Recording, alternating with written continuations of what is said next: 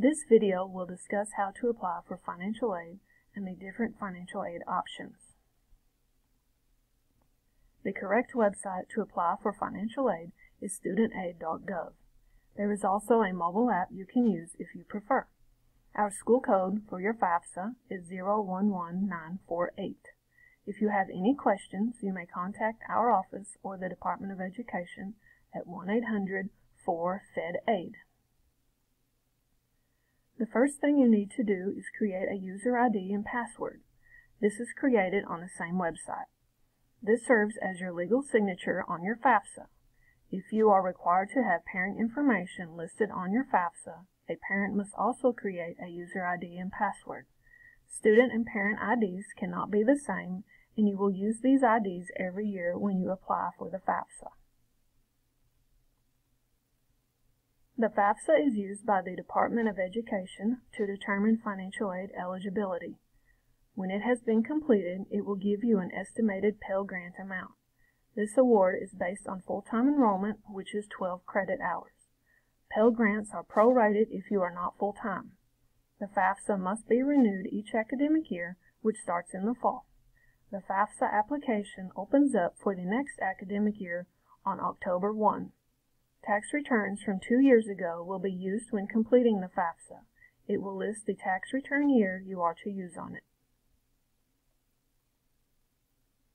After you submit your FAFSA, you will receive notification from each school that you listed on it letting you know they have received your application.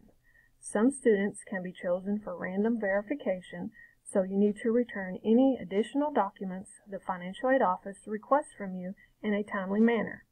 Once eligibility has been determined, you will receive an award notification. Each student who receives federal financial aid must adhere to a satisfactory academic progress policy. For the qualitative standard, a student must earn a term and overall GPA of 2.0. The quantitative standard says a student must complete 67% pace of attempted credit hours each term and overall. The time frame component of the policy says a student must finish their program within 150% time frame of the published length of their program. Grades of withdrawal, incomplete, failed, administrative withdrawal, and audit also count as attempted hours in your time frame calculation. For example, the Associate of Arts degree in General Education is 60 credit hours times 150% equals 90 credit hours to finish that degree. Students who receive federal financial aid must also attend classes through the 60% point of each semester. Otherwise, a student may owe a refund to the school or to the Department of Education. The same policy also discusses a few of the different financial aid statuses. A student will be placed on a warning if they do not meet the 67% pace or the 2.0 GPA requirement. A student will be placed on a suspension status if they do not meet the PACE or GPA requirements again after the warning period. Students will be placed on a time frame suspension status if they do not graduate within the 150% time frame of their program. Suspended students do not qualify for any federal financial aid. If you filed a FAFSA and made at least a 19 on the ACT, one of the state scholarships you can apply for is the Arkansas Academic Challenge Scholarship through the Arkansas Department of Higher Education. The website is scholarships.adhe.edu and the deadline is July 1. This scholarship is $500 per semester the first year and $1,500 per semester the second year. A 2.5 GPA is required and traditional students must be enrolled in at least 12 hours the first semester, and starting with their second semester, they must be enrolled in at least 15 hours every semester. Non-traditional students must be enrolled in at least 6 hours. Students can also apply for our foundation scholarships on the BRTC website. The deadline is March 1. You must be a full-time student and earn a 3.0 GPA each semester. These scholarships are $1,000 per semester for one year. We also offer institutional scholarships based on your ACT score.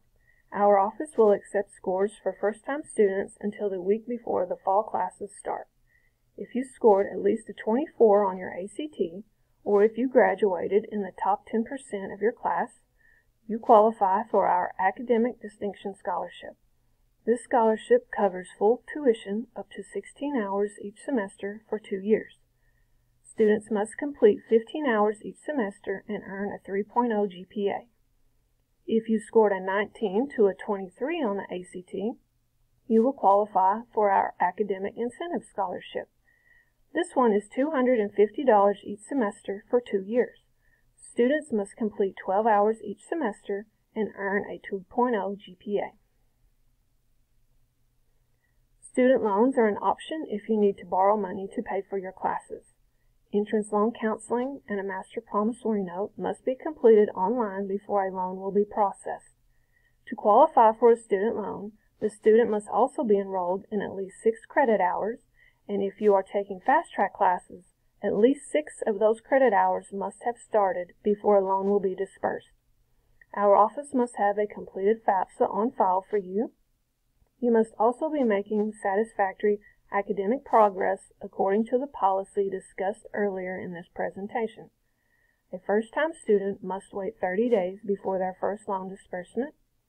Loans are disbursed two times each semester, and the second one must come after the midpoint of the semester. Also, a student cannot be in default on any previous student loans. Exit counseling provides important information to prepare you to repay your federal student loans.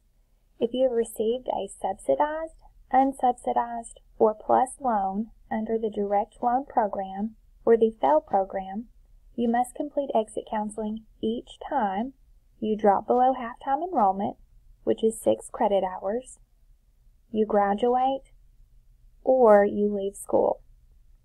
Ideally, exit counseling is conducted one-on-one with your default prevention specialist, but there are certain situations where it is acceptable to complete it online. The website you would use to complete it online is www.studentaid.gov.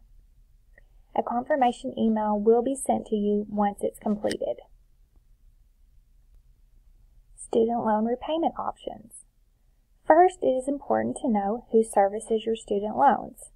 You can visit the National Student Loan Data System, NSLDS, at the following website, and you can see a complete history of your student loans, beginning balance, list of servicers, and contact information.